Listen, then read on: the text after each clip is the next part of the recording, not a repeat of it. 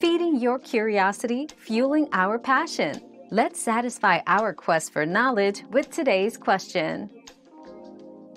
Taking L-arginine and ashwagandha together is generally considered safe for most people.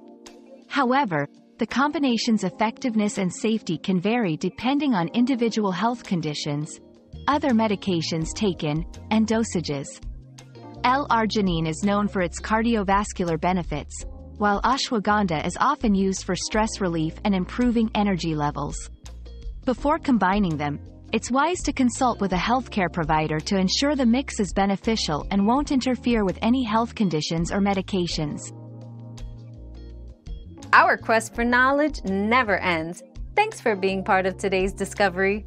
Subscribe, like, and share to join us on the next one.